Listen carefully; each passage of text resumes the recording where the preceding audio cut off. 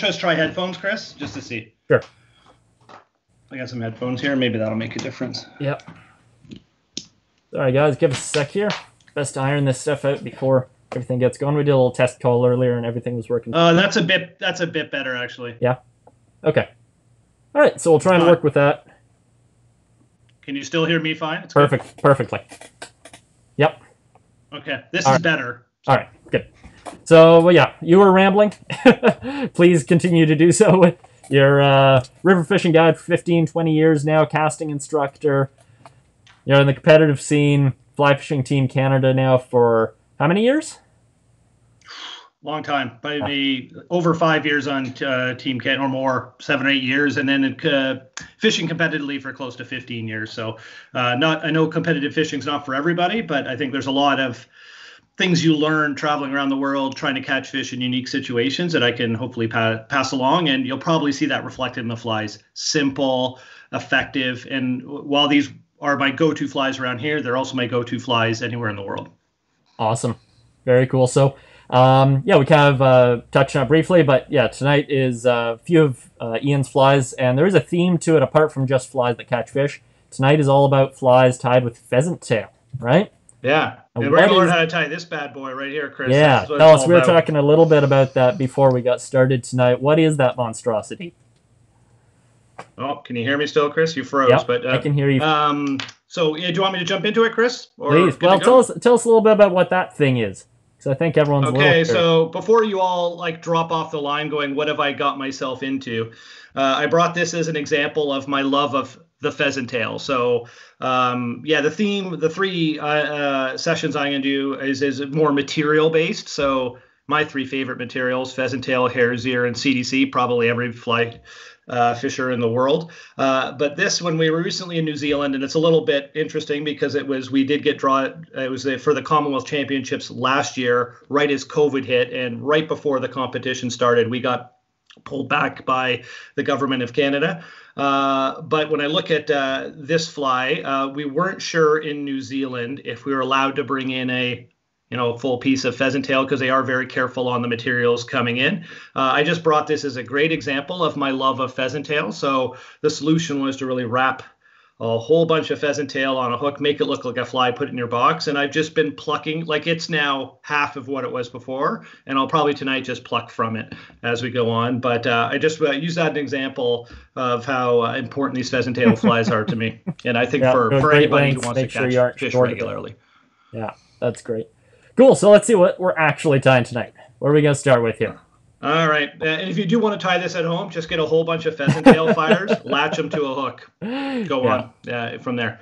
So I'm going to tie six flies tonight. Uh, and a bunch of different variations. We'll try to move quite quickly, uh, but please uh, type any questions to Chris. I've got the headphones on. He'll he'll interrupt me. I'll probably do one of these like Secret Service things and and see if I can uh, hear what he's saying. But um, and and and I like back and forth dialogue. So please, uh, you know, I know it's through Chris, but I think I want to explain how you fish it. I'm happy to answer any questions because uh, my number one thing would be with you know flies are just flies it's it's really the presentation that matters more than the fly uh, but when it comes to flies my uh, general philosophy is treat them as ammunition so uh, Chris on the other end flies ties some beautiful flies, uh, and there's nothing wrong with tying really uh, beautiful flies that you love and enjoy. Um, but for me, I want simple flies that catch a lot of fish that I'm not afraid to fire that fly close to a, a log. If I hook the bottom, I don't care. Uh, and also from a guiding perspective, you kind of learn to, it's like uh, stripping a car. You get, you get the fly down with its basic forms. And I actually think there's beauty in the simplicity of a fly that works that effectively. So a lot of my flies are pretty simple but I can tell you I would gladly take these flies to any river or any lake in the world and feel pretty comfortable using them. I haven't invented a single one. It's just ones I've picked up from world champions and people all over the world. Uh, you've heard a lot. You've probably seen a lot of these ones. I'll just explain how I tie them and the variations I use on them.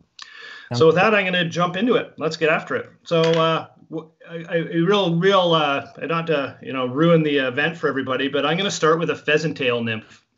so, Didn't see that one coming. uh, you, you, probably went, yeah. I, I, I what a surprise. Um, and I, and I apologize. I did cut my thumb Uh, there's my boo boo. Um, you know, if you're wondering, uh, it when you're cutting French fries on a mandolin and you cut a fry shaped chunk out of your thumb, it impacts your fly tying for a bit. So I haven't been able to tie for a week or two, but I've just got back into it. So if I'm a little, I'm not a great fly tyer in the best of times.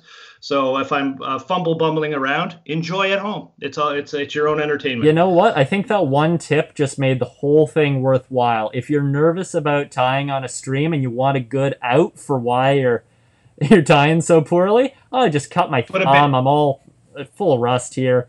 It's a great. Yeah, one. just put a band aid on your thumb. Just put a band aid on. Make up a disclaimers are out of the way. Um, so a couple things about pheasant tail nymphs.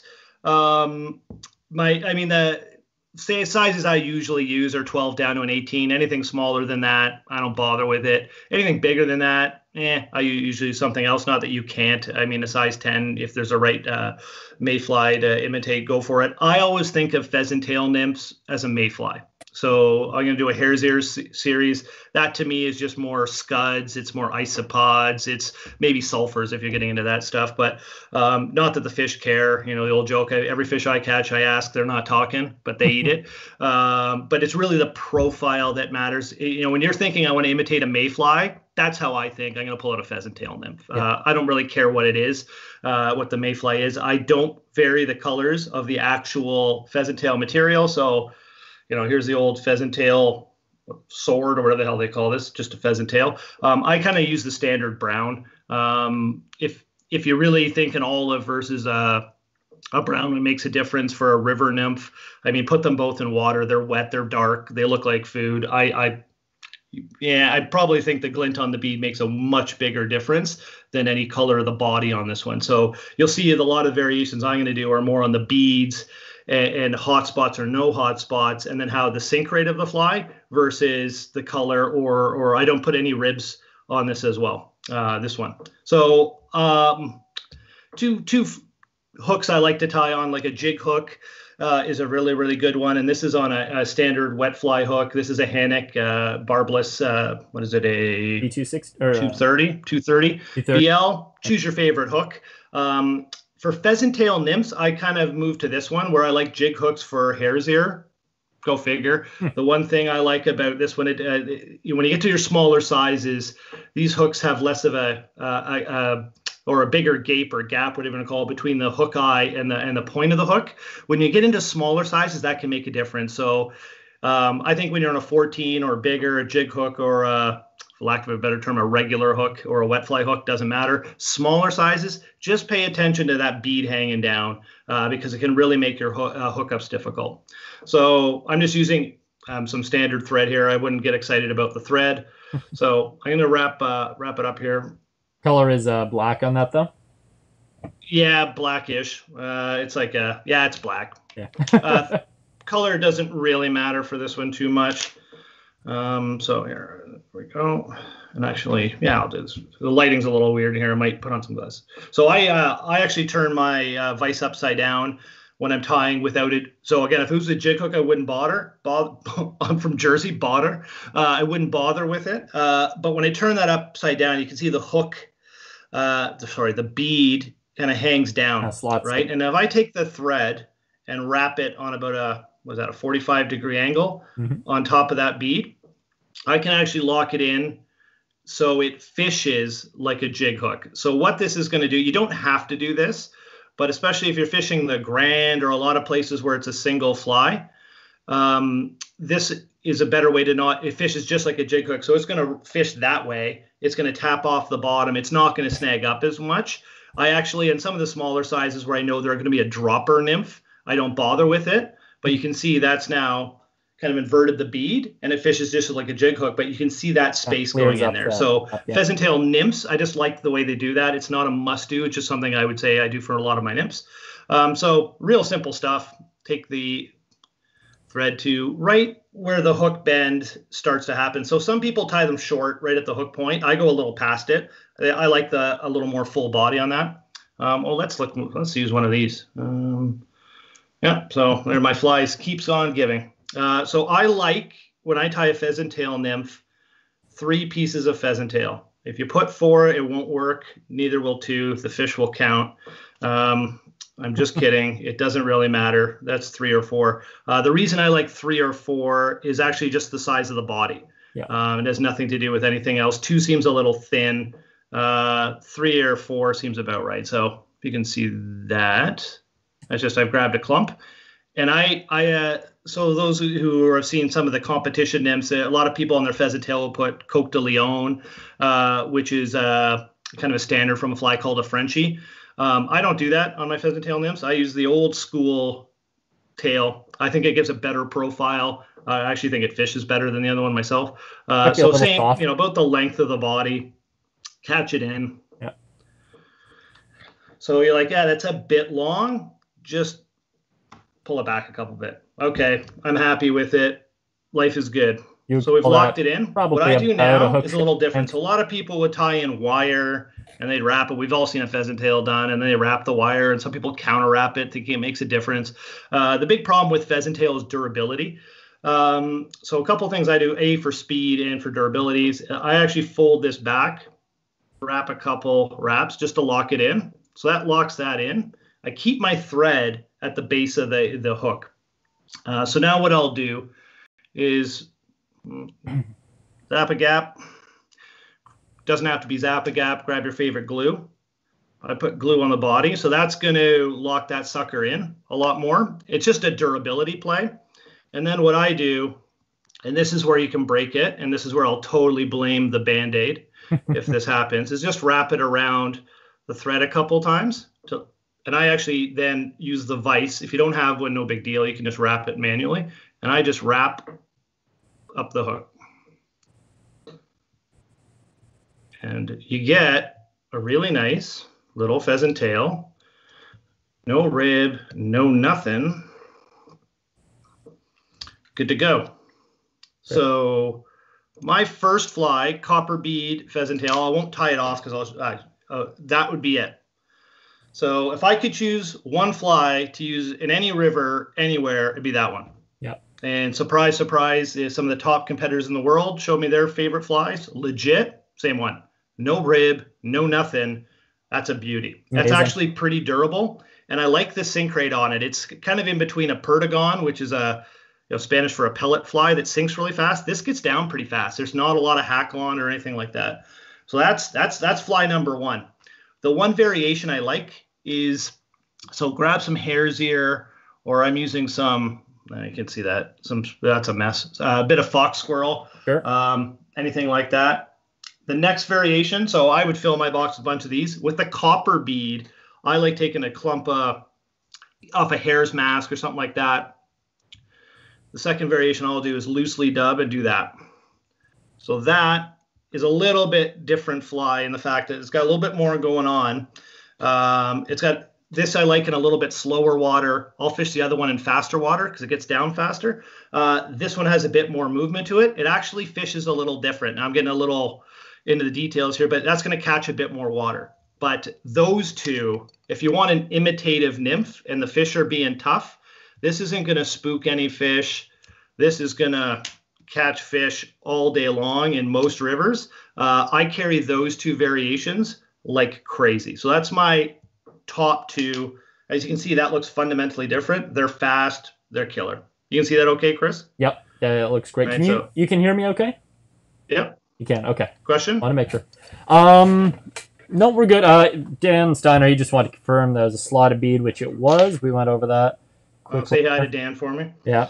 Interesting. You you mentioned there that um, you know you like a, a jig hook still for the uh, the hare's ears. I didn't I didn't realize that. Is there any reason for that? Nope. No. Nope. Just, uh, just me being person. difficult. Like I have no idea why. Uh, you have some jigs. So I'll do both. Uh, but uh, on some of them, I, I uh, again bigger sizes. As soon as I get to a 16, no matter what the fly is, but for maybe because I tie some 12s in that, Mm-hmm. I actually just like the jig hook with it. Okay. There's absolutely no no reason why. I guarantee you they both fish the exact same way. I yeah. just like it. Yeah, that's cool. And yeah, for for anyone who's a little hesitant to fish a fly as, as simple as that last one, like just um, last season I started fishing that style that you have there, and over you know uh, a Frenchie or over um, a regular kind of pheasant tail with a rib, and that was my number one fly last year too. It's crazy how good that thing is.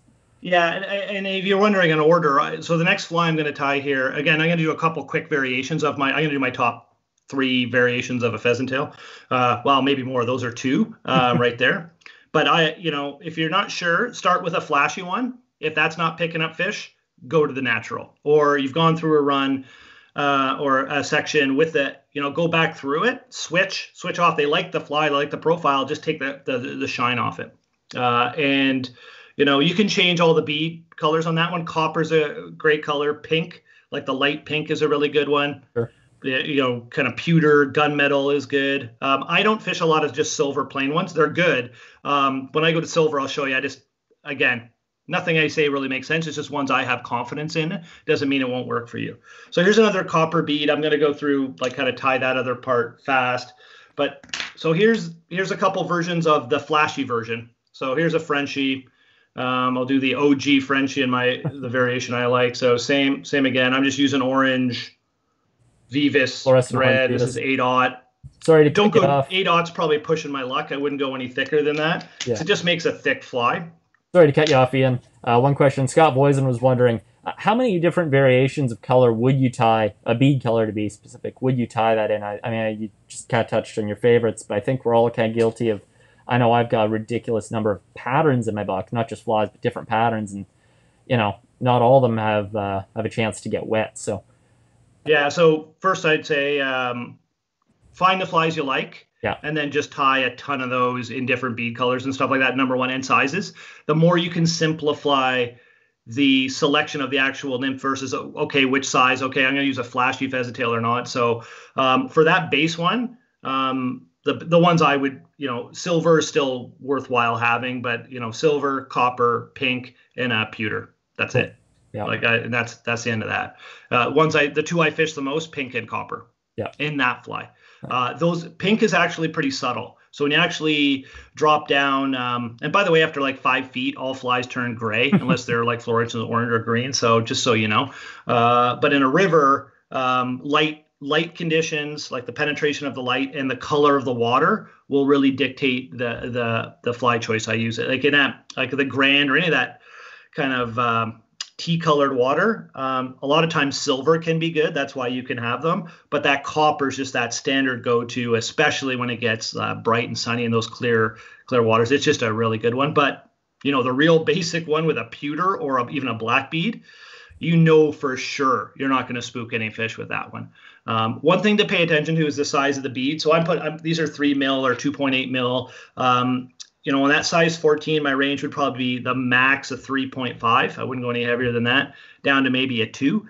Um, just be wary also of big beads make a big splash. So I see a lot of people will go to a really subtle colored nymph but have a honking bead on it in spooky water. Um, just make sure, you know, if you're fishing that kind of, if it's not fast riffles or fast water, a small little plunk is a is an advantage. They'll see it and they'll move to it.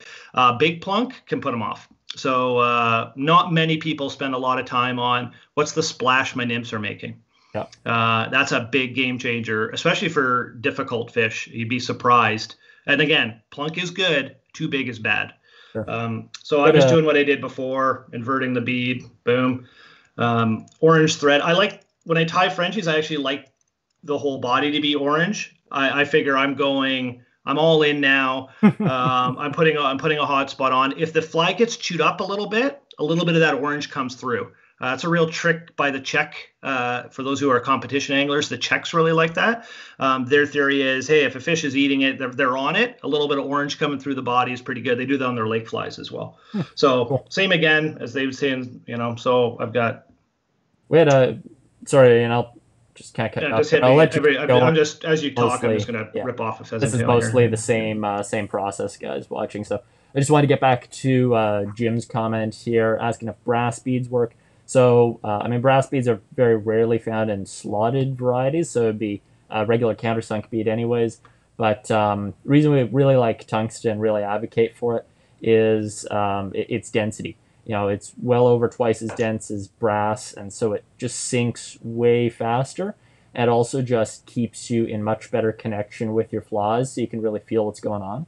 Um, Yeah, I mean, it's a good point. And then I think when you're getting into brass beads, I know like uh, my buddy George Daniel likes them um, for you know reducing the sink rate for when you're into water that's yeah, um, you know not as fast and stuff like that to monitor the sink rate. I actually just go down to a small tungsten bead, and the other fly I'm going to tie old school wet fly. If I'm uh, worried about the sink rate, I'll just fish a wet fly, Yeah. like a nymph, you know, and that'll that'll work too. Yeah. So And then, what uh, you can't see when you tie this one with an orange, it gets a little bit of an orange. Of huge. Like you'll get a little bit the way I tie it. You can see a little bit of thread out the butt. I don't worry about it. Some it's just got a little bit of an orange glow to it. As I said before, you don't have to do it that way. You can switch thread if you want. This is like the original fly called a Frenchie because the French team used it like a hundred years ago in competitions and won them all the time. the original Frenchie was this this. So then you put a hot spot on it like that, and you're done. So same like the other one. This is my fast water fly. It sinks faster. I have a bunch of those. I will put a little bit of glue on it uh, just so it doesn't unravel. But really on that piece, done, totally done. The one I, I like, uh, so my version of adding then a little bit of the uh, the hairs there to it. You'll see a theme. So I just take hot orange uh, dub dubbing. So you know this is Hends. Use whatever you want. Um, so I like the the um, hot orange ice dub or whatever it's called. You'll know better than me, Chris. Whatever that ice dub. So it's just just a sparkly kind of orange dub in there. hot orange. Yeah. What what is it? Hareline hot orange dub or something like that. Uh, yeah, I, I This think that would one- be the the So. I'll do that with, and I really like that one. yeah, So that version again has a little more disco-ness to it, catches a bit more light. Uh, don't be afraid of these on bright days. So orange is a good uh, fly on bright days. Uh, that is a little more subtle than you think when it gets in the water. That's a that's a deadly pattern. Like I got a ton of confidence in that one. Uh, I actually fish it more than just the regular hotspot Frenchie. But if you fish the Grand or the Credit, this slays uh, in the right water. And again, if you're not catching on this, just take it off and go to the one that, that doesn't have that on it. So those are those are two staples. Anybody's been in my box, they'll know. And I, that bad, that bad boy will, will get it I done. could beat that. All right. Just want more throw versions. one other point. Um, So Sorry, you can hear me still, Ian? okay, yeah, yeah. Yeah. Uh, I just want to throw out one other point just because I thought about it as well. Um, we didn't, we haven't really addressed specifically. I mean, I think a lot of people here realize that uh, these flies are very much geared toward sort of Euro nymphing, tight line uh, nymphing techniques. You know, it's kind of uh, the competitive world when it comes to nymphing, at least. But these flies do work really well under indicators too. So even if you're an indicator guy, I would still really encourage anyone to try them out with like the inverted style, a jig hook or non, tungsten beads, because it, it still sure, gives you lots sure. of advantages. Like an inverted hook is still going to snag less. It's you know this style is still giving you more uh, hook point to work with to hook fish, and it allows you to use less split shot too. So even if you're an indicator guy, which is perfectly good, there's lots of advantages to indicators too. Um, maybe not quite as many as Euro nymphing in a lot of cases, but uh, there's still lots of pluses to uh, to these. Yeah. Oh, and uh, I would say, you know, a couple you don't actually necessarily have to invert the bead, but uh, I I use indicators too. They work really, really well. These are great steelhead flies too. Steelhead or trout as well, or I'm not sure if they're technically what they land in between. uh, they sort of act like a trout when they're in the water. Uh, these are these are flies I'll put through for um, for for for steelhead and also great lake flies. Yeah. So um, don't discount that basic pheasant tail on a lake, and I'll throw you another one really mess with you. Put some light tippet on and throw it as a streamer. Put two of these nymphs on, cast it across. Wink, wink, nudge, nudge. Uh, if you have uh, on the on the grand one fly, just cast it across and fish it downstream with little twitches. Um, like you said, you, you indicator. Like people never think of fishing nymphs actively to that level. We talk about jigging them and stuff like that. You'd be amazed how many fish you catch when it's active and it's the right conditions of just fishing them on uh, you know I fish them on a on a Euro rig or even on my streamer rig. I'll just put on a you know a bigger one and just fish it through. It's not obtrusive to the fish. It just looks like a little moving. Yeah, like you um, look at tiny little minnows a lot of time, they like they aren't you know big uh you know things with tails flapping all about. They are kind of stick like a lot of times. So I could. So the one I'm going to tie right now is the one I like to move fast. okay, So cool. uh, funny how you said minnow. So thanks for taking my thunder on that one. So it's like it's like a little minnow. It also fishes a lot like um, you know, for call it uh, caddis actually. And I always said these are all mayflies, but this one's got a little bit of sizzle to it, mm. and uh, it's a it's it's pretty pretty bright, uh, flashy. So, and when it comes to bead colors, silver fish can see the farthest. So everybody, you know, when they think of outside of using like a fluorescent neon or anything, always think the most aggressive bead color is actually usually silver. Gold gets a lot of press for it, um, but actually silver is the one that. And so in dark conditions or low light or dark water, I love a silver bead. And tea colored water, love a silver bead. Just right there, I could just tie that off and fish and feel really comfortable with just a black body and a silver bead. Hey, it's almost like midge. a zebra midge, right? Yeah. So um, I'm gonna rip one off here quick. So again, I'm just skipping over the the actual tying of the fly here because you can just watch me tie the same one. But you can see you can rip them off pretty good. I've got three again. Tie it in. I think that three fiber thing is really key. Like a lot of pheasant tails that you see tied, you know, in um, you know, in fly shop boxes and stuff, they they have a little more taper to them, they're a little bulkier. But the three fiber thing, like you get a really nice thin profile. It's, thin, it's thin. Great so two things: thin for the win, we would say, both in the leader and the flies. Um, you know, there's there are there is a time for the kind of uh, morbidly obese fly, but I can't. It's not a pheasant tail, so uh, it's a great point to call out. The only reason uh, you do, and again, I'm using more thin thread. Uh, I really want that body thin um, all the time. So, oops, I almost forgot because I never. Is, so I you can use like you know small mirage tinsel, small pearl. I'm using that. Like it's called silky. Yeah, it's just a really really small pearl rib. So this one is a really uh, is a pheasant tail on steroids. So this would be not falling under the subtle piece.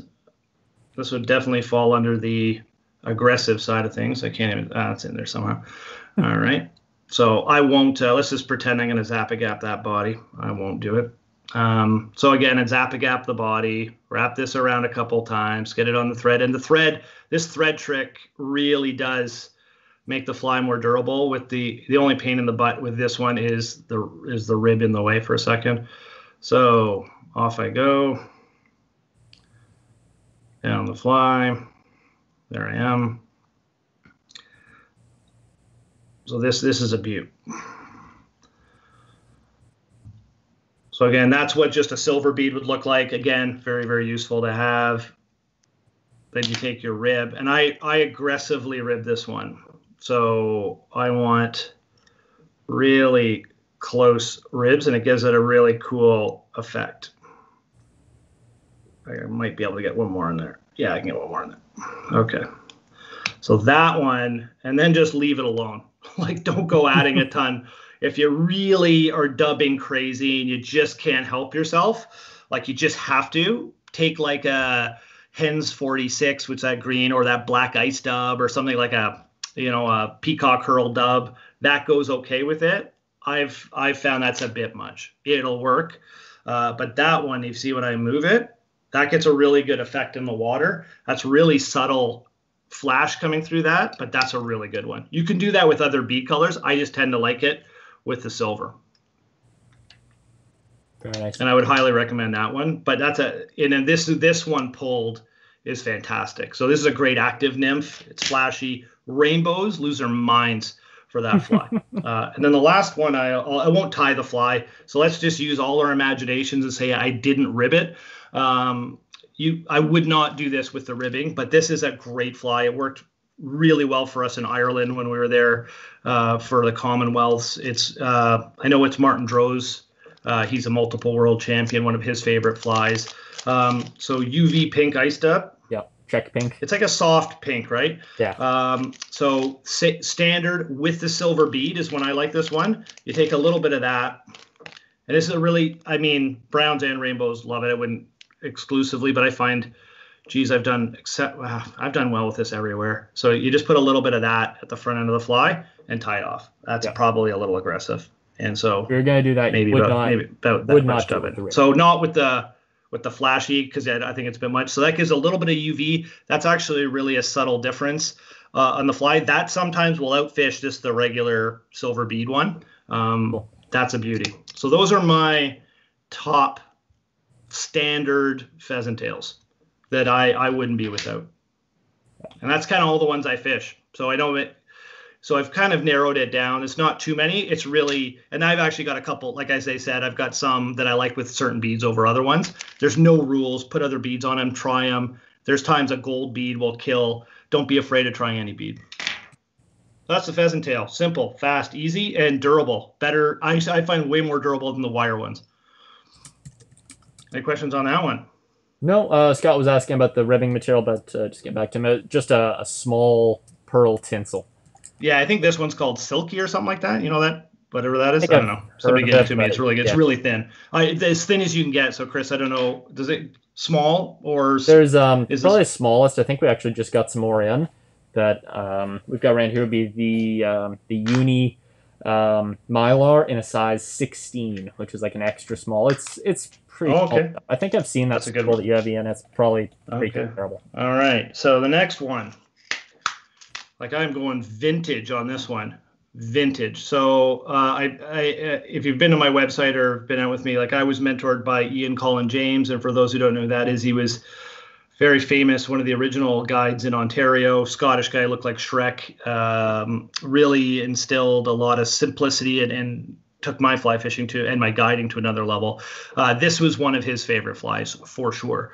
Um, and this is the way you know I uh, I tied it from him. Uh, it's very similar to what we were just tied. So it's it's it's it's it's a pheasant tail wet fly. It's super good. I actually like it in bigger sizes. So I like this in like if it, if there's big mayflies, I like 10s. This is a 12, 14. I'm kind of done at 14. if I'm going to go a 16 wet fly, I'm probably just going to put thread on the body. Yeah. I'm not going to bother. But this this really is good in a 12 for the Hendricksons and stuff like that. And I'll I'll throw a couple tips while I'm on how to fish it. it you don't just have to do the old wet fly swing. Um, I actually prefer to fish this as an emerger in the top dead drift. So this is a great when the when they're eating just under the surface and they won't come up. Uh, people forget about how how good a, a, greased wet fly can be. Yeah. It looks like uh, and those who you know it resembles, resembles a lot of things, uh, but fish have trouble uh, not eating one of those. Um, it, you can swing it for sure, another you can twitch it you can uh, you can upstream dead drift it this is where the question on the brass beads this is a pretty heavy hook on that um which one you know if i'm gonna if i'm gonna find i don't want weight i'm not really not gonna in a small tungsten's too much weight i want no weight um, so this is a great one in those some of the slower water stuff like that never be afraid to upstream dead drift uh, this fly it, you know it can fish it deeper uh, but again put some some powder on it, put some gink, put it in the film, let it sink a little bit. It looks like a cripple um, cripple done, and they pound it. So it's which, a good uh, fly sorry, for sure. Which, I mean, it's not new. It's probably one of the oldest flies in the world, uh, but it works. Uh, so you know, get some partridge. Uh, yep. Sorry, uh, what hook did you say that was? This was a uh, this is a Hanak 230 BL size 230 as well. Okay. But again, I, I mean I just like it. It's a standard with it. I just yeah. like the turned up hook. Um, you know, watch the weight of the hook on this one.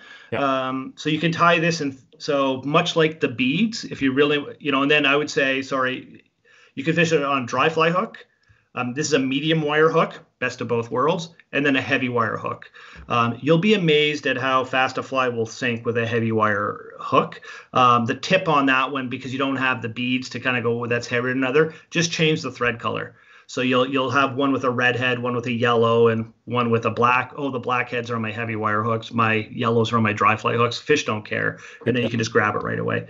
Uh, that's getting pretty technical. I don't bother. Medium wire, it'll grease up, it'll go down. I just leave it. Um, so I just taken a chunk of uh, what, what is that partridge, whatever you want the kids want to call these days. um, I, and so I actually tie the tail. Some people won't do that. This is where my band-aid's in the way, but I've taken a chunk and made a little tail. So I don't actually use the pheasant tail as the tail. Hmm. And Chris is going to say, why is that? Uh, good question, Chris. Uh, two reasons. I was taught this way. But the second one is it actually has more movement. Yeah. So this is one where I'm not tumbling it along the bottom. I like. Uh, I'm not using Coq de Leon. It's too stiff. If I'm swinging it, it gets a little bit more movement. You can omit the tail as well. Like there's nothing wrong with this fly, and you'll see them tied online where they just leave that part out. I just like it. Uh, So I'm I have no idea if it works better one way or the other. I just like it. Yeah, I'm curious as well, Ian. Um, I know it's sort of um, um, a theory of some guys that you know more natural kind of flies. I, I assume this is going to become a, a fairly kind of drab fly. You know, more natural stuff go larger sizes, brighter stuff a little smaller. What do you think of that? How do you mix that into your? Sorry, you just your um your your uh, audio broke up there. I didn't catch it. Yeah. So I know some it? guys like to think, um, you know, more natural kind of drab flies, which I assume this is going to be, uh, you know, a little larger sizes, brighter stuff, smaller sizes. Do you adopt that that theory? It's not a bad idea. Uh, like uh, I've, I've never thought of that theory. I, I I would say I don't. I most of my flies in a river Yeah. are 14s and 16s, to be honest. And when I get into the 12s, they actually do tend to be more natural. Um, but I, it's just because when you're you're putting too much flash on, it's just a lot going on. But uh, out in Vancouver Island, like I was using really flashy size 12s and 10s and they were they would outfish the natural. So I think it uh, depends on the situation. Are they wild fish? Are they stock fish? Are they aggressive fish? Are they hammered fish? Like you really, um, I I say take a that you know have everything, try it. The Yeah. fish will tell you. Yeah. Um, I wouldn't rule out anything, but if you're again start flashy. If that's not working, take the same fly, go natural. But this one's pretty pretty natural because I'm more fishing it. Um, I would say more. I fish this way more as almost like an emerger than sw- I don't swing a ton of wets, but swinging wets definitely definitely works. Um, but I don't go too flashy when I swing wet flies. Sure. No idea why. I should try it. Um, so I just cut the tail off, tying it in because it's just reverse because I don't have a tail going out the other side. Uh, same same story. I don't rib this one either. Uh, no need. So make it durable. This is the boring part. I just do this. This is the end of me doing these types of flies, so don't worry. We're gonna get. Uh, so again, wrap it around a couple times. If you're don't cut your fr- fr- uh, thumb into a French fry, you can just wrap it like that. Then we go. So you can, if you have a vise that spins, you can just pump these things out. So leave some room at the front. The good news though with the glue is I that slipped out of my hand It's and it didn't there. go anywhere. Yeah, I mean, so I that's the that- other benefit of doing that. So you know, you get there at the end, and that fly would have just unraveled. I'm just gonna chunk it out here, um, and stuff like this. This is what a fly looks like after a fish has eaten it but a t- bunch of times, and they still work. But uh, never sweat it if they get a little rough. Like some of my pheasant tails, when I tie them, look like garbage. I know in one fish they're gonna look a little bit like garbage. They sometimes fish better uh, when they get hacked up. But I saved it. Life is good. First thing I'm going to blame is my thumb. But there you go. All right. So kind of like the other one, just got a tail on it. Then I'm going to take, uh, just like everybody's seen, you know, take that, pull the fibers back. This should be fun with my band aid. And that being a partridge feather, just in case it wasn't clear. That's a partridge feather, well well marked. um, and it's really for the softness. It's your standard wet fly. Yeah. I'm tying it in at the the tip. And this is one where I don't, you know, if you're into North Country spiders from from England, which are the original ones, they would do like two wisps of a turn and say it's overdressed. Um, this one I tend to overdress a bit because I, I again I, I actually wanted to fish up. Yeah. If I want it on the bottom, uh, I'll probably fish a nymph anyways. Yeah. Um, and if I'm swinging it, it's got a pretty heavy hook. It's good enough because it's not small. So again, so I'm just going to give this. I didn't bring my hackle pliers from downstairs, which is a mistake right now. But uh, just a couple wraps. If you know, don't lose your mind if you've. Gee, is it two and a half wraps versus three? Who cares? Uh, if you're happy with it, fish it, pull them back. Right. So I'm happy with that. Get rid of the stem. Some people get very, very snooty around wet flies. So there. So I, I fish mine like that. So that's a buggy fly, right? So um, there's a I, I love the movement of it. You know, there are people who will stick a bead in front of that too. And so that's not a bad Mhm. fly either. There's a lot a lot of movement. That bigger sizes. So you know, put your put your flashy bead on it. Put put a just a standard bead on it. I don't do that. I know that's a pretty successful pattern for some people. But again, if I'm going to put it on, uh, I just kind of went. If I'm going to fish a nymph, I've narrowed my uh, kind of my selection. I just fish this as a wet fly. Um, this is also not to say this won't work well in a lake. You can easily fish this as a for those who do lake fishing. If there's midges coming off or anything like that, this works really really well. So really basic pattern, forgotten about pattern in a lot of people's boxes. Um, again, if I turn it like that, that looks just like a, a cripple a fisher up at, near the surface. Don't forget about the wet fly. Cool. Really There's that one. Yep, there we go. Uh, all right. And my last in my river series. So this would be it for my river flies, and this probably the greatest dry fly ever developed. if if I could only use one dry fly outside of a okay for a caddis, it would be this. Uh, so it's a fly called the plume tip. Um, Jeremy Lucas, um, who's a famous competition angler in the UK, uh, developed it. If you're wondering how many dry flies he fishes, and he's considered one of the best dry fly fishermen in the world, one, this pattern, maybe two, one called an Opo, uh, and then maybe one called a championship caddis, three, I guess. But uh, he's so convinced, and I'm, I'm pretty sure he's not wrong. Um, if a fish won't eat this, just go to a smaller size. So, but that this again, I should say for this is much for your midge feeders. You know those little sipping trout you see in the slow water. You should go plume tip time all the time. It's not a great fast water fly. That's where your your hair caddises and stuff like that are better. Your CDC caddises and stuff, and we'll tie some of those on the CDC night. Uh, but this one, I know it's a. I, I, I waffled on. Does this go in CDC night or or pheasant tail night? I'm putting it in pheasant tail night. Um, really simple pattern, deadly. Um, like to the point, you know, if you get a good drift over fish, they're probably going to eat it. If they don't, go one size down. If they won't eat that, go second size down then go home because it's not a fish there. They're cast. I don't know what you're casting to, um, but they'll if there's our fish. This is not a great, I would say, searching pattern as much as it's you see fish on the dries. Um, they're in in that kind of back eddies, that slower water. You know what I'm talking about. Um, anytime you see a fish kind of sipping, like grand, you see that big snout come out, pull this out for sure, like first fly, um, and you're not. It's a great fly. And I'm gonna start tying it now. So this is where I use. I'm using olive thread. This is um, like 14.0, like thin. Um, you really want thin thread for this fly. You can use like a pale yellow and give it a little bit different look.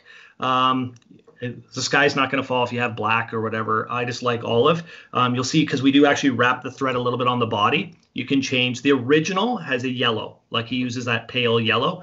Um, I like the olive, but uh, no big deal.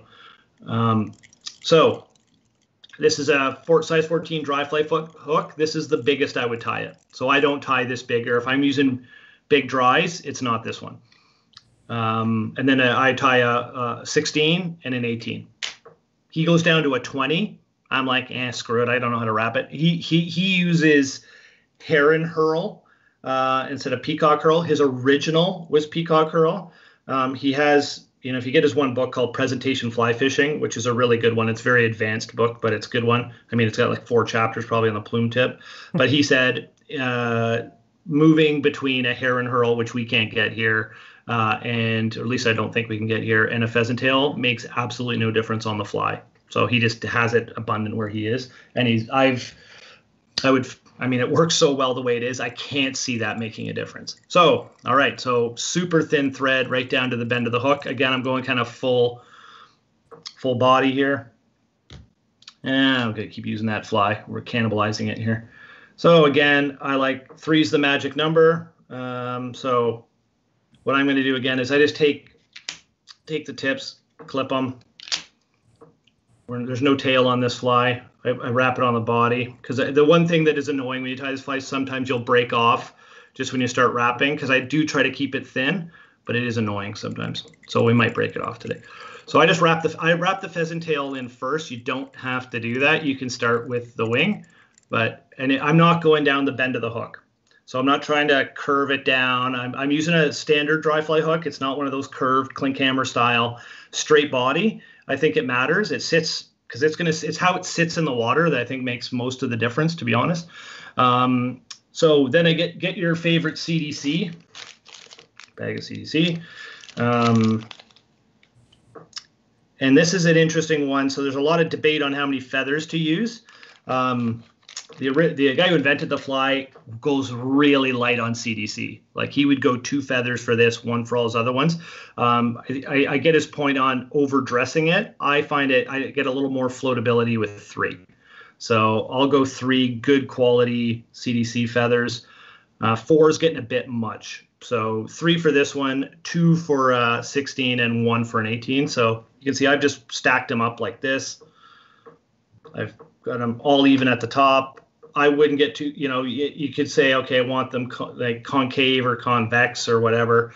I want them to just kind of splay out. I wouldn't lose sleep over it. But if you really want it, I like them splayed out versus splayed in. Mm-hmm. Um, so I just want them to be soft at the tips. There's no stem sticking out or anything like that. So it's a lot like a shuttlecock, right? So length of the fly. Whoop, bring the thread to the front. So I'm going to tie that in at the at the eye of the fly, right? Yep. Next, take your scissors. Key point, cut at an angle. So you want to cut it at this angle because this is kind of going to be your thorax. Don't cut your pheasant tail. Um, right. So, um, by the way, this fly tied just with a thread body, also awesome. Um, so you can skip the pheasant tail piece if you're really lazy, uh, or you want a really thin fly. So I'm just going to latch that in. You can see it's a little bit wider at the end, and you got this kind of shuttlecock thing happening there. Uh, enter our, our pheasant tail, but wait, you're not gluing it. I know, crazy times, and I'm not, and I'm just wrapping it, not on my thread, going old school. So I just wrap it up. You could put uh, glue if you really want to on this one. I don't bother. I go here because we're going to wrap down the body. So I've got that. Ooh, almost lost it. Got lucky there. So I got that wrapped up. Okay, trim it. Okay, and this, so take, this is why you want thin thread. This, then down the body in big wraps and then come back up and don't go overboard. It really you know, you think, oh my God, I'm crumpling all the pheasant tail fibers. Nah, just gives a little bit of a green underglow. When wet is just dark, doesn't really matter. It just makes it super durable. I tried that on the pheasant tail nymph. I hated the way it looks. Hmm. This is so thin, it looks looks good. It works. The last part, uh, two things we're gonna do. Take your CDC feathers, grab a clump of what's left over. There's a little difference. He he doesn't necessarily use the CDC all the time. He uses sometimes just hare's ear. Uh, I like the CDC myself for, I'm just dubbing that on for extra floatability and it's all leggy. So it gives it a nice little thorax in behind it. So it looks like that. Pull all this forward and come in behind the hook eye. And this is the key part of the fly. You want that actually to stand up a little bit. You see how it's not a straight oops, that's a nice flyaway. How it's a straight shuttlecock. It's got the wing coming off about like that. Yeah. So think about it. That's going to sit in the water with the body about like that. That's where the magic happens on this fly, I think. Uh, but oh my, see, I want to eat that right now. Uh, and you're done. And so a lot of times on my flies, I'll put little pieces of you know, uh, glow bright floss and stuff. This these upwing flies are pretty easy to spot. They're not they're not too hard to to find. Uh, if you really wanted to, you could tie in a little hot spot to stick up above the wing, but I I don't bother with it. It's it's pretty easy to find. And, and if you can't find it, when you're getting down to, I mean, you're not going to find many flies when if you're fishing a an 18. So you just kind of, you know, if you get a fish moves, lift your rod. So can you see that okay, Chris? Yeah, that's beautiful. That is a, I, I mean, I'm telling you, that is a deadly, deadly dry fly. All right, so that's that bad boy. And here's one I tied earlier, like one of those cooking shows. Ooh, look at that. I was tying them. Uh, so my box would be full of those. Um, uh, story in New Zealand. Um, we were fishing. Um, I mean, the rivers there are insane. And the the North Island, I would say the fish are overly picky, except for this stupid moth that I won't talk about because I'll go into a tirade of how hard they were to catch. Uh, but you had really big rainbows and browns midging, right? And they were hard to catch uh, for some reason. Um, the top, I mean, the fly that just destroyed them was an 18 uh, plume tip. Like every cast, outfished every fly. Um, I wasn't surprised. As soon as I saw that behavior, I tried other flies. Nope. Uh, we thought they were eating that moss. We were fishing caddis. Nope. Tried every other small fly. Nope. I'm like, of course, plume tip. Boom, right away. Um, so really, really good fly. Basics. Nice. Okay, that's my river section. I'm going to go into kind of my lake my lake stuff now. Any questions on the river stuff before we switch into stillwater mode? Doesn't look like it. If anyone does have anything, um, you know, if they wanted to, to clarify there, drop a comment. We can always backtrack to it. But Okay. All right. That sounds great. Okay, I'm gonna keep keep it old school and then we're gonna go modern. So All right. it does not get more old school than this. I guarantee you, Chris has a couple in his box. this is called a cove pheasant tail, or uh, cove buzzer, whatever you want to call it. It's a guy named Arthur Cove. If you don't know who he is, he's a fly fishing legend in the UK from the 50s and 60s. Um, you know, he invented straight line buzzer fishing. No big deal. um, he's a his book My Way with Trout. It's like from the 60s. Yeah. You'll be amazed if you read it. It's, he's really good. Uh, he liked himself a bit, but he was really good. um, this was his top fly that he used ever, and they we, it's still regularly in use today. So this would be your chironomid. If you're, I guess, from where we are from here, uh, call it a buzzer. If there's anybody on the line from BC, uh, Tunkwa, those, uh, you know, the, the the the British team won the World Championships in BC in 1993. Uh, they fished this fly, single fly, on a long leader and beat everybody who was pulling woolly buggers. Right. So there's lots of great buzzer patterns. There's lots of great epoxy buzzer patterns. This is a real standard staple um, and a fantastic fly.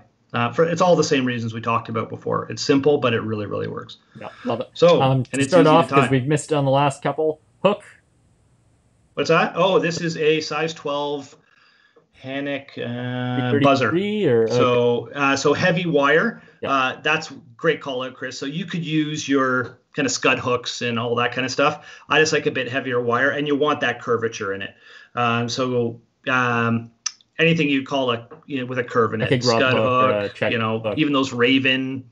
Old, you know, is but the wire in this I like is is heavier wire, and that's just for sinkability. I fish this slow, like I'm putting this on an 18 foot leader on the point with three flies, uh, you know, across it, probably five, six feet apart. This is usually my point fly, so I tie this in tens and twelves. I don't go really much Big. smaller than that. Um, sometimes eights.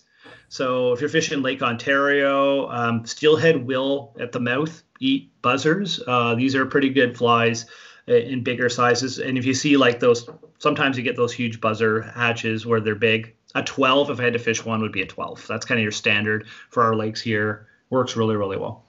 Um, so thread doesn't really matter. I'm going back to the black. This this sucker's easy. Again, like most of my flies. So thread base, touching turns, all the way down. Now we want the bend.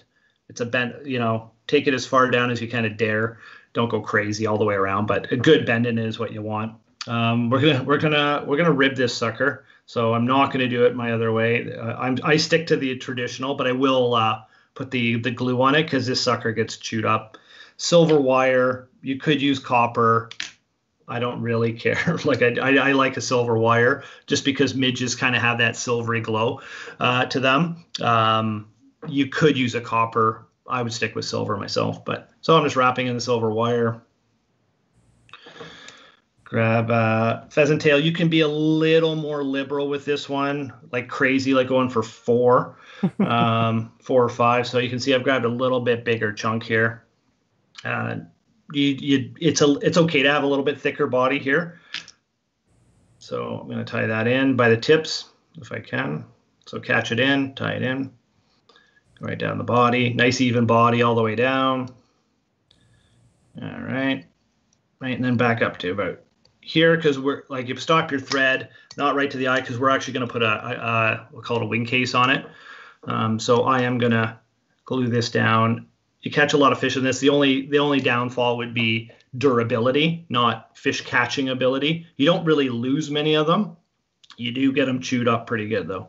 unlike So, a fly, which is Uh, I'm I'm I that glue and yes I could do the thread thing again. I just because I'm putting wire on it, I don't bother. Nothing's stopping you from doing that. So keep this piece. Don't trim it. You're gonna need it.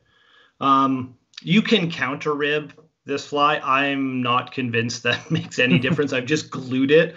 Um, do whatever you want. Um, I like one turn on the on the base before I go up the fly, and then progressively getting farther apart. So I don't wrap it evenly. Fish difference zero. The way I like the way the fly looks, it gives it a cool segmented look, like it's got a bend to it. I guarantee you that makes absolutely no difference. Uh, it's just the way I like it.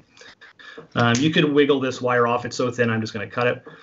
So as you can see, there's just a little bit of a silver glow there.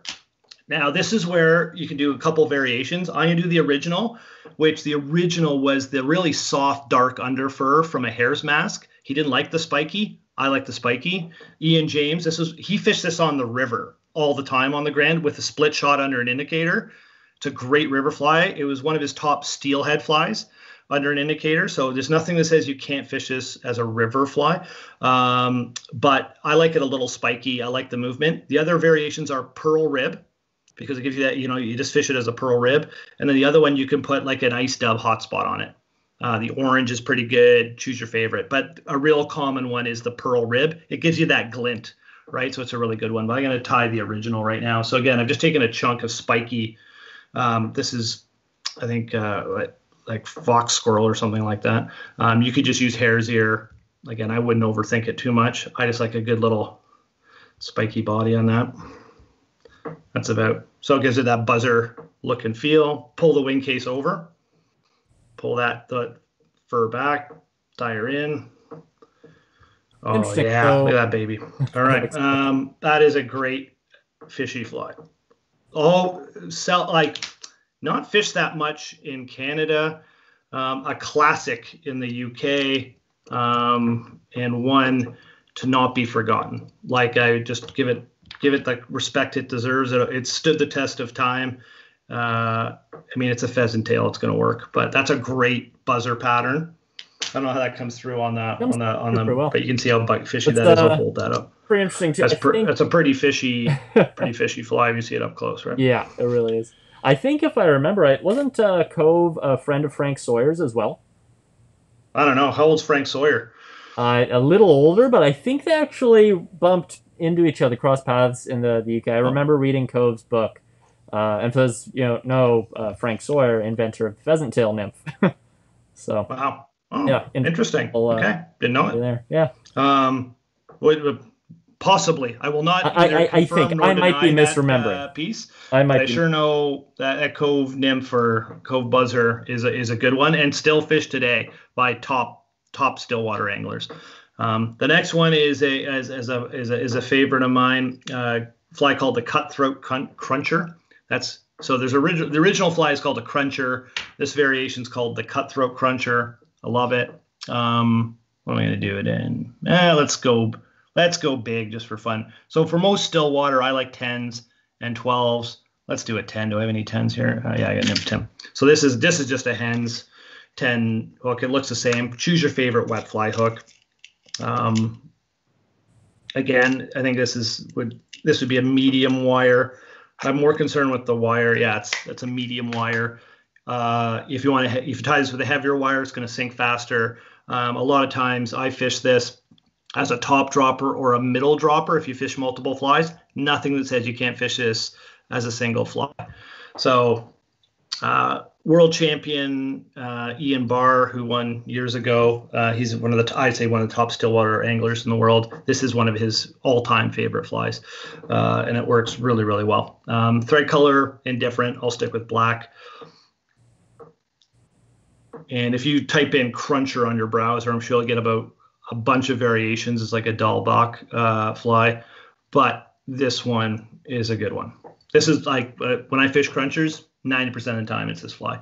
The other one I tie is just the OG, which is just, well, you can guess when we go through it. Um, so gonna grab, what's that, Chris? Just cheap brown hackle, like hen? Uh, yeah, like a barred badger, like a brown hackle. A brown hackle. brown yeah. hackle. uh, so again, doesn't really matter. Just a brown or a badger hackle or anything like that. Um, the hackle, I, I, like I like the brown for this. You'll see some tied tied with the lighter color for more contrast, but that's just a brown yeah. hackle. Um, so we're gonna grab just some of the, oops, So you're gonna usually trim some. Yeah, just gonna grab a few fibers off the the end of the feather there. Yep. So again, we're not tying the pheasant tail in as the tail on this one. Again, it's a little bit like that uh, wet fly I tied. It has the soft and it's back to the movement um, about the length of the body, maybe a little shorter, but so you can see that sticking out the, the butt. That's about as short as I would go on that because a 10 is pretty big. Uh, if I had to pick one size, it'd be a 12. I'm just, this is an easy one to see. All right. I will use a wire on this one, red. Um, if I'm ever going to use wire, like for silver or red with my pheasant, it's really to to catch light and do something. This this does give the fly a little bit more red glow. We are going to put the cutthroat on it, which is a little bit more red around it. Red, as you guys all know, is a great color for fish. It's a great color for still still water fishing for sure. Um, it diffuses when you get deeper, but a lot of times, if you're fishing a cruncher, they're eating. These are feeding oh, fish. This is more of a natural uh, with a bit of with a bit of flash on it. Um, this is really for a fish as an imitative pattern. While it's got a little bit of flash to it, it is still imitative. You could actually put this a bunch of cove uh, uh, as a top dropper uh, with a cove nymph. Um, I like hackled flies on my top droppers because they sink slower while my other one's going deeper, and it just allows me to fish different layers. Yeah. So wire, tie it in. Nothing fancy about that. Oh, our fly's getting eaten up. it's, it's seen better days. okay. Again, I go a little meatier with this one. Four, not like eight, you know, but four or five. Uh, I'm okay with a little. Again, it's a lake pattern. It's not. And it's a uh, fly that, thin river fish. fly we need. It's a fly you're gonna fish higher up too, right? So you don't. Yeah, higher up. It's a little meaty. It's not. I mean, we say it's still pretty thin. We're not going overboard on it here.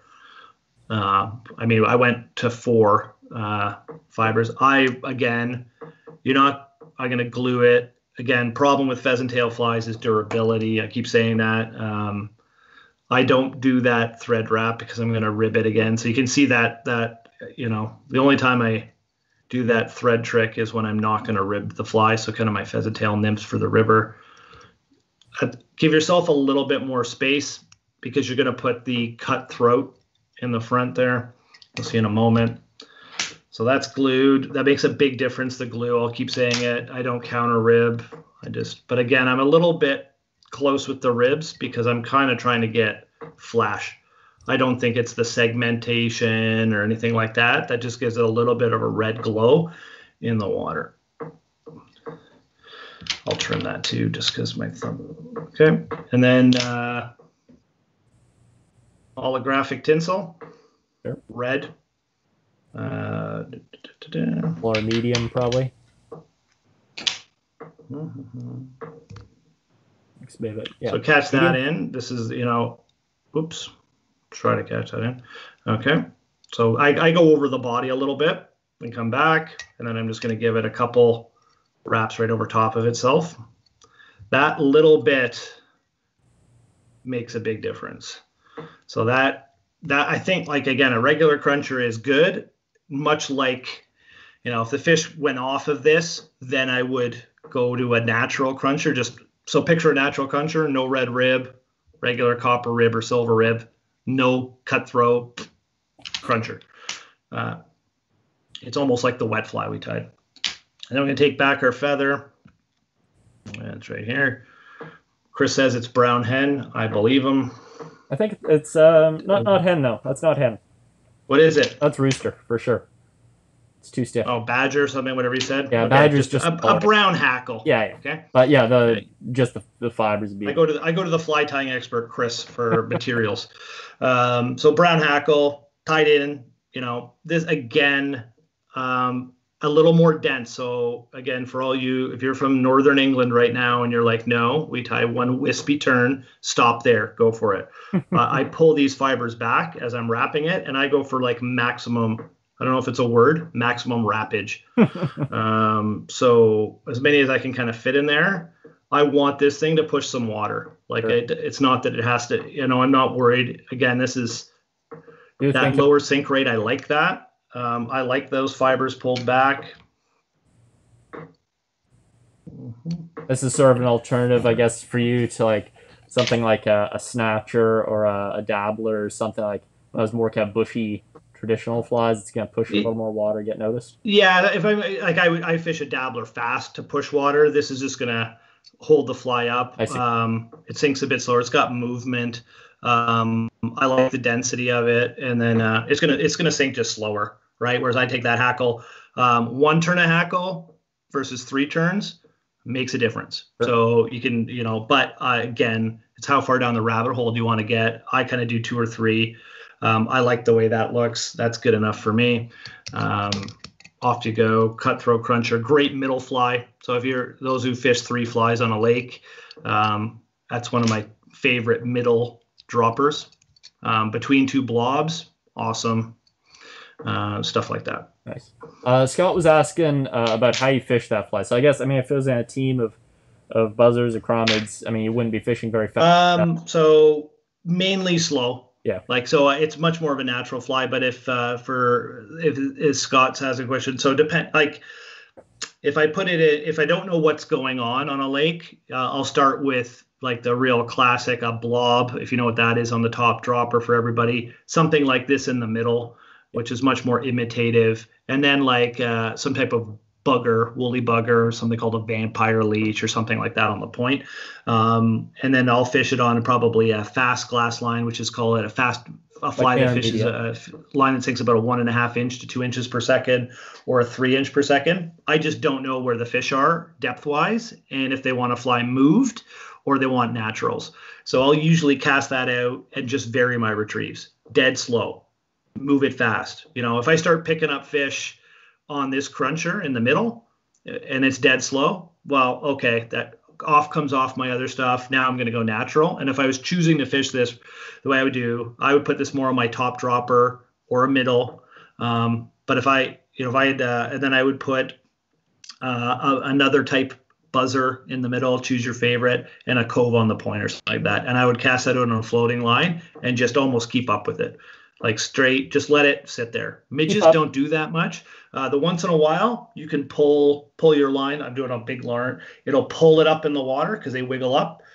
Let it and then let it Make fall back down. So they see midges all the time. Sit there in the water, go back down, move back up, go back down.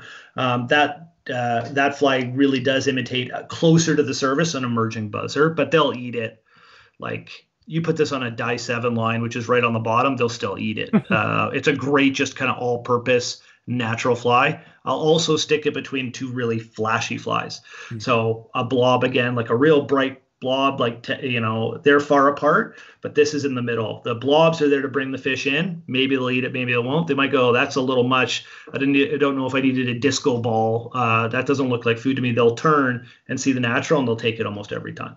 Um, that's a really good fly for that too. Yeah. That's a couple of ways i, I fish that but uh, anytime i'm thinking imitative it's one that'll come out. Sure. for sure. Um, ian bars likes fishing it dead static like so, he he he fishes this really really slow uh, pattern. But you can see if I hold that up, whoop, that's a pretty pretty sweet fly. Yeah, uh, a lot of confidence in that fly.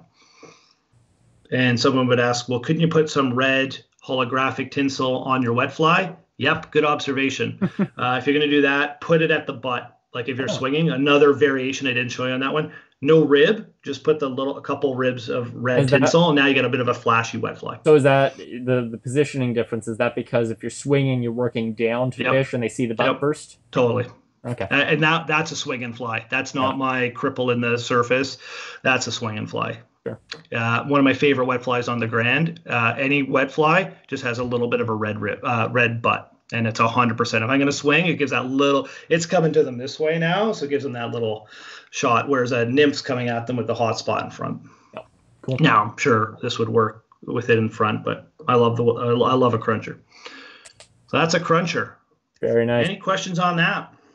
Nope, just the one from Scott there. I think we addressed that pretty okay. well. So, yeah. Again. Now we're gonna get crazy. UK hopper. I'm gonna do a 10 oh. as well. So can't wait. This this is an all-purpose fly. Um, I love this fly. Um, it's one of my favorite lake dry flies for sure.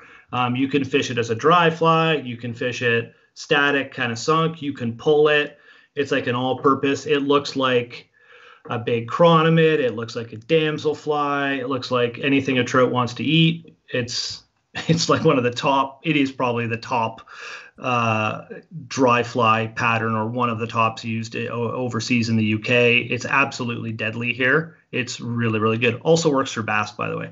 Hmm. Bass love it um, for those uh, bass anglers out there. So we're going to use knotted pheasant tail. So I stayed up all last night tying this into little knots, and uh, that's why I'm looking a little sleepy. Um, you can do this yourself if you want, and you. I guess it's COVID. We got time on our hands. Yeah. Um, for those that you know, t- tie in knotted pheasant tail, if you can see that. Yeah. Um, some poor person had to just sit here and tie those. Uh, people like tying them themselves. It's not going to be me. Um, so you can buy this knotted already. Knotted pheasant tail is the one that's worth the price of admission um, because the fact that somebody ties little knots in all the end. I used to tie them myself for for sure. You take two pieces and tie a little knot. I used to do one for every fly, and then I realized I'm just going to buy some knotted pheasant tail. Yeah. So uh, I don't know, Chris. Do you guys uh, order we're, this in, or we're actually? Uh, it's funny you bring it up because we're actually working on bringing some in right now. So hopefully, oh, cool. we'll right. have some. But you can do it yourself, yeah. as mentioned. Like I, I tie it myself. Um, yeah. See, it was a see like Chris. Chris sits at home tie. Ask Chris to tie you some pheasant. No, please don't. So please don't. How do you I, tie I buy that it really carefully. Is it? I used to do it. I just don't anymore. Yeah. But if you can see that, if I move that up, it how much that looks great... like little legs. Oh yeah. So that's going to form the legs and, and, and really a crumpled look on this fly. Yeah. Um, and this is a fly that has tons of variations to it. Um, you could go to town on it. I'll tie kind of one of the the originals. I still still think it's the best. Um, this this I I don't mind in a 10. So I fish this a lot in a 10. 10s and 12s. I don't go small with this one. Um, you could go eight in some situations, no problem. Um, it's a great big fly uh, in any shape of the.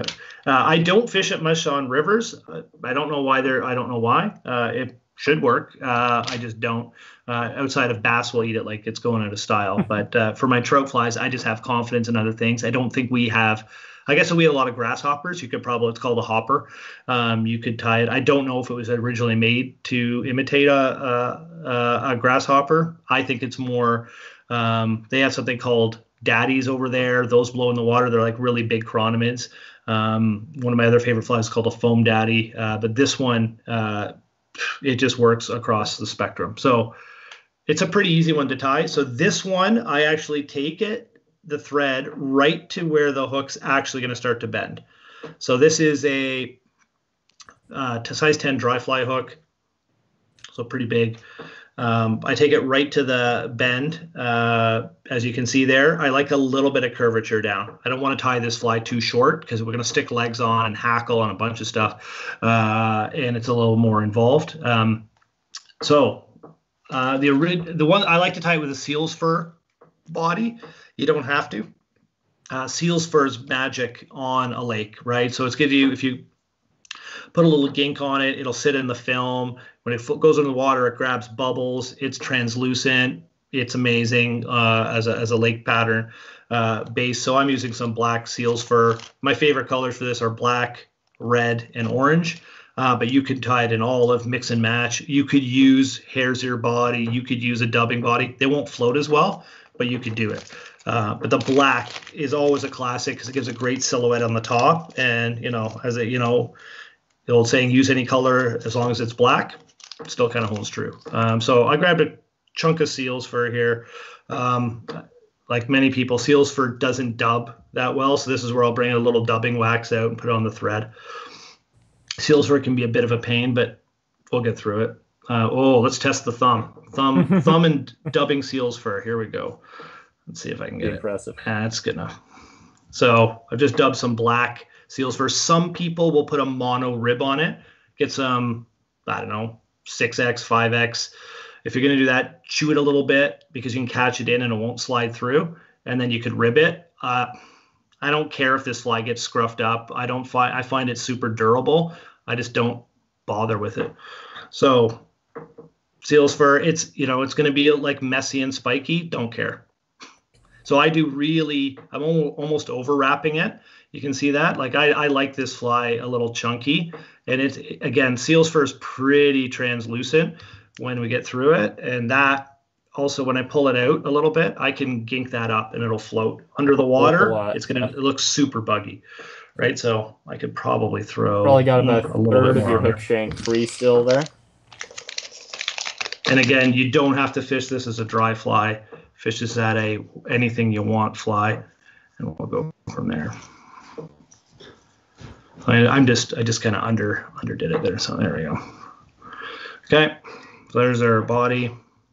No rib, no nothing. Awesome. Hand tied by Chris. Get your get your pheasant tail. So um, you just grab a clump clump of about two or three um, of these. You know, some people really argue two versus three. I go two a lot of time, two clumps, just because I don't want to use them up, and I don't think it really matters. But that looks like that. That's so four. Can see all of a sudden there's like, what do you got? Like four or five legs in there. Yeah. So I just take one or two clumps, put it on this side. Uh, maybe a bit much. I'm gonna go two. That was three in there. So take two. If you can, don't lose sleep over it. You want it angled down, just past the hook and kind of curving in. Um, again, it gets crumpled. You could not convince me a fish really cares where the legs are, but the legs do make a difference. You can fish this fly without the legs, it works, but the legs really make it look buggy, and the fish love it. So, so that's. I guess first satellite. Yeah, with that, what's that? To be very similar to sort of a, a Bob's Bits kind of at that point. No, it's like a Bob's Bits on steroids, probably. I'd say, yeah. Um, a fly called a Midas, which is which is pretty famous. Uh, it's kind of a rip off of a hopper too. Um, so again, you can see those legs. If you can get them bending down and kind of towards, and I'll, I'll show you what this looks like in a second here. So there we go. Cool. All right. So looks like you've ever seen a big chronomid, you can see that looks pretty crumply. Like if I show you like that, like that with the fly, you know, pretty, pretty buggy fly. So as they say, tidy up. So I'm tidy up your fly. There we go. Bit more seal's fur. Uh, notice I am not going to go crazy with uh, the uh, wax. This one I, I, don't mind it being a little bit bulkier, so I'm gonna I'm gonna brush that out anyways afterwards. If I want, so if I need floatability in the fly, that's the part I'll brush out. Just brush that, turn it. The key if you're fishing this fly before you put the hackle on is never gink the whole fly, just the top. You want this sitting in the in the film with all those legs hanging down, and if it sinks under, just retrieve it. It works all the time. Don't have to fish it dry. Put it on top drop or put it with a like just fish it. Uh, fish it you can pull it. You can let it just float, sit and uh, float down through the water. Fish it a bunch of different ways. Um, so again, what did Chris say? This is not hen brown hackle. Uh, yeah, Doesn't matter. Roost, like a rooster uh, neck hackle. Uh, it's just a hackle. Um, brown works pretty good. So nothing fancy here. I'm gonna tie it in by the there we go. Tie it in. Again, I'm gonna hackle this one pretty heavy. Um, it's not a, a small fly. I'm not losing it. I, I, pull the fibers back. I'm gonna put two or three good wraps there, maybe one more for good measure. There. I like I like mine pretty hackled. Um, some people trim the bottom of the fly. Um, I'll do that with a Bob's Bits if you if you know that because you want to sit flush in the in the film because I'm tying this big. Um, I find it just kind of sits down anyways. But if you're really neurotic about it, you can cut it. But I figure it just makes it more leggy. And this is just a purposefully kind of in your face, buggy, really buggy fly. I don't know. Is that coming through all right, Chris? Does that look pretty good? Like you can see how buggy that is. I mean, it sure looks buggy from here. Yeah. Yeah. So it's a right. So just take away that little flyaway there, and that, and so black is great. Fiery brown's another good one. You know, go to town with the colors, but you can see where those knotted pheasant tails are the way to go, right? And that's about how I like it. Just the legs splayed past it. Um, trout love that pattern. Um, bass love that pattern. You could you could fish it like any way you want, and it should be one. If you're going to a still, I don't care. You're going for brook trout up, and there you see them moving on top. Just put it on, and see what happens. Give it a go. Yeah. And that cool. is. Oops, I'm gonna lose that fly. Cut my thread. I think that's a good point. Like a lot of people, you know, they, I think a lot of people in Ontario don't have a ton of still water experience. It's not something they're familiar with. Admittedly, we don't have a lot of rainbow or brown trout lakes around here, but uh, yeah. I think we, we have a lot of customers who do fish Algonquin in the spring, and um, you know we get asked all the time dry flies or and stuff to fish up there, but all these wet flies and stuff work really well too. Yeah, and you know, for brook trout, deadly, right? That cove nymph if you need uh, to go up there. But this, if this works everywhere, like everywhere, not nothing's always or for sure. But if you're seeing chironomids flying around, that in a ten or a twelve, again, you can see small gives it too much legs. It's so when Chris is saying a Bob's bits, it's essentially this without the legs. And so when when this gets into smaller sizes, just take the legs off. Um, one thing I'll do if I'm fishing a Bob's Bits is I'll put one little piece of flash on the bottom, just at the like the cutthroat cruncher, but just at the bottom. That small fly, that little glint will sometimes they'll pick it out. So I tie versions with and without that little bit of glint. But when I get into a 12 or a 10, it's hoppers. And this is, I mean, uh, to Scott's question on the uh, cutthroat cruncher, I'll put this as a middle dropper too.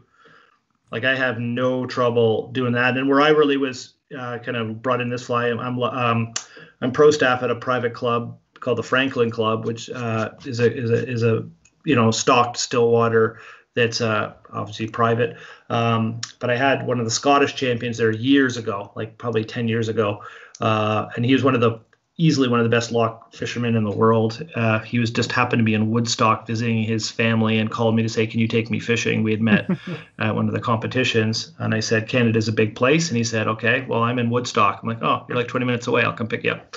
Um, but uh, he he went, and Ian James was alive at the time, and said, "Okay, they really like buzzers here if you want to fish natural," and he put this on a on a sinking line. Oh, yeah. With two two buzzers behind him, like, but that's like a dry fly. He's like, nope, it works just as well under the surface and it took the most fish. Really? uh, and that was when i first clued into oh yeah there's no rules on this fly. He's like look at it.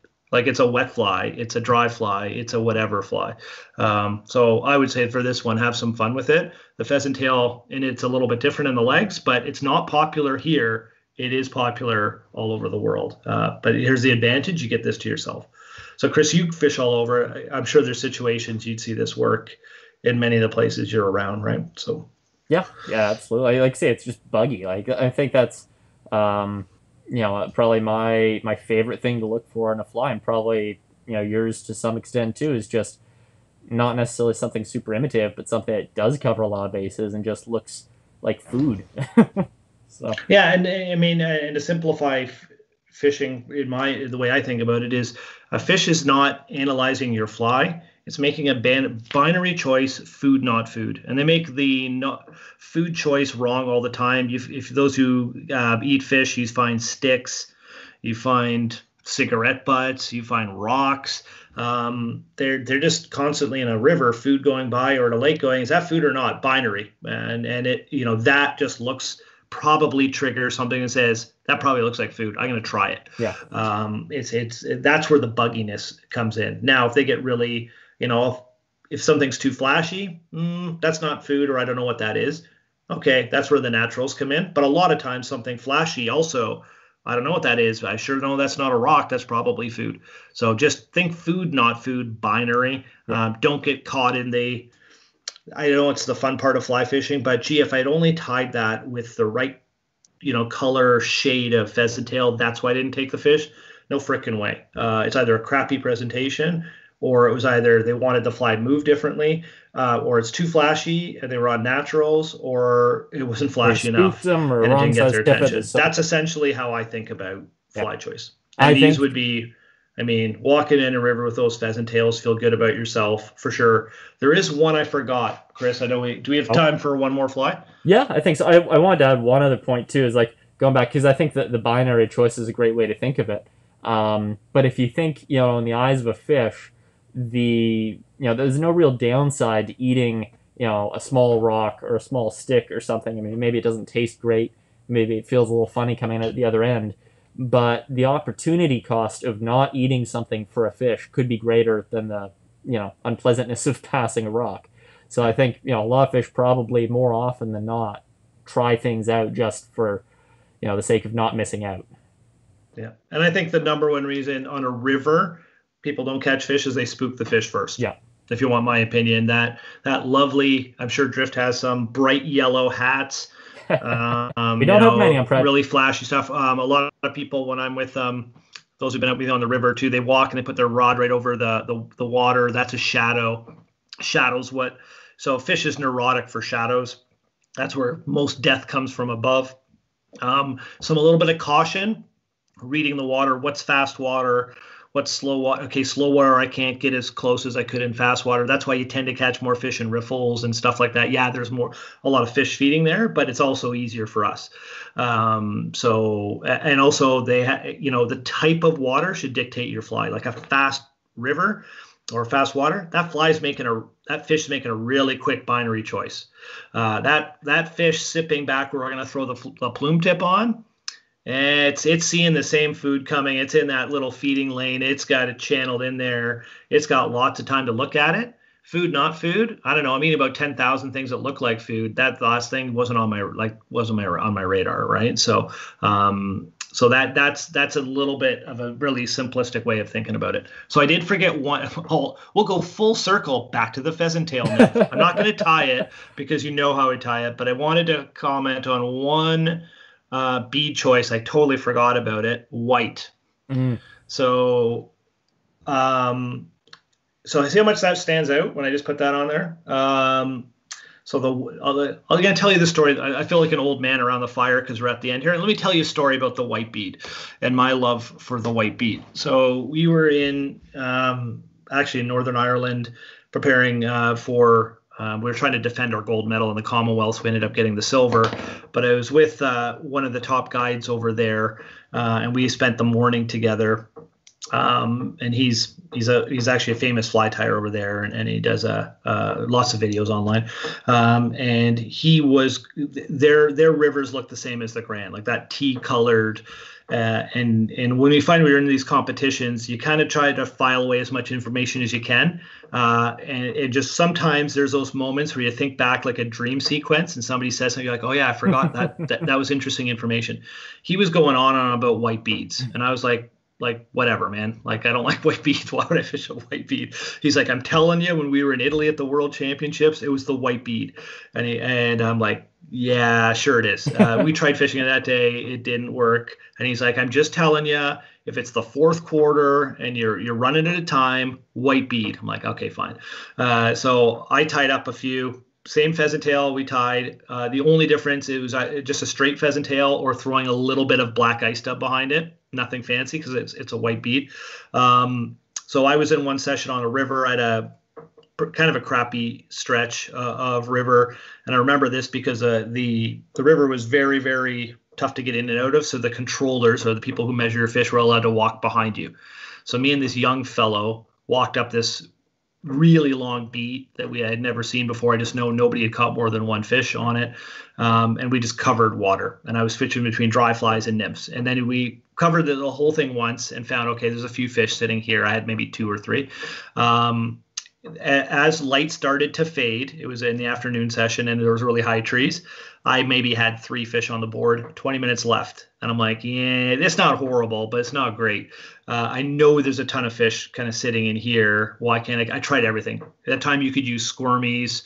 I tried the pheasant tail with the like all the stuff I just. Nope, nothing. And I'm like, white bead. if it's a, hey, it's a fourth quarter, try that stupid white yeah. bead fly. And it was this, it was a 16 white bead, first cast fish, second cast fish. And I, I am not kidding you. I caught 14 fish uh, in the last 20 minutes.